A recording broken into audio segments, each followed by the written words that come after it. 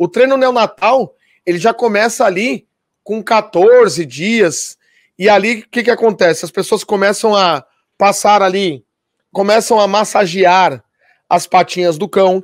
Ele começa a ter ali, começa a estimular, a dar uma estimulação tátil no filhote. Já começa, inclusive, a condicionar ele também. Então, o filhote, até a fase dos 90 dias, a vida dele é comer, beber, brincar e dormir. Essa é a vida do filhote. Até os 90 dias, isso é muito forte.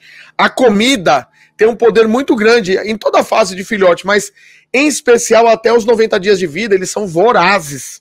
Então o que, que acontece? Como a comida tem um grande poder sobre ele, você tem que usar a comida a seu favor para influenciar o comportamento dele e condicionar durante essa fase. Essa é uma fase muito importante de você aproveitar e embutir no filhote o máximo de informação que você puder passar, de conhecimento de comandos, de comportamentos que você quer ensinar na educação dele, tá?